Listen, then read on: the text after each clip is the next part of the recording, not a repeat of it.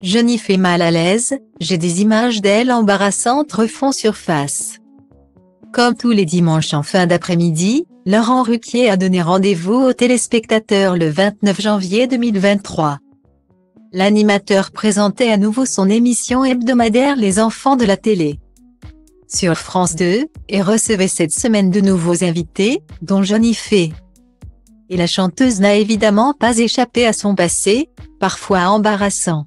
En effet, comme le veut le concept du programme, l'artiste de 40 ans a été confronté à des images d'elle datant de ses débuts à la télé. À l'époque, elle commençait à se faire un nom après avoir remporté la première saison de la Star Academy et avait été choisie pour faire partie du jury Miss France en 2005. Malheureusement, au moment de poser une question à une candidate, ce fut le bug total pour la maman d'Aaron. Joseph et Giovanni comme elle l'a reconnu avant de cacher son visage. On vous demande de poser une question à Miss France. D'habitude, c'est les Miss France qui ne savent pas répondre. Mais ce soir-là, c'est Jennifer qui ne savait pas poser la question, a de son côté recontextualisé Laurent Ruquier.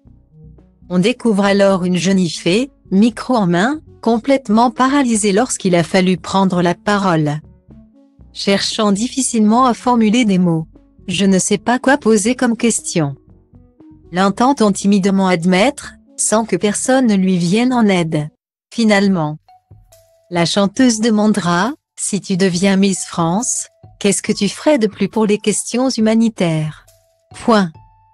J'ai honte, a-t-elle déclaré en revoyant ces drôles d'images. Et de lancer, couper. Il n'y a personne qui m'a aidé, regrette-t-elle par ailleurs. Mais pour la consoler.